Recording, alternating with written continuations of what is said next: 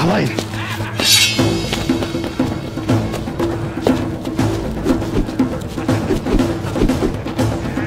Gelin. Bir hatundan korkup bunca hazırlık etmişsiniz.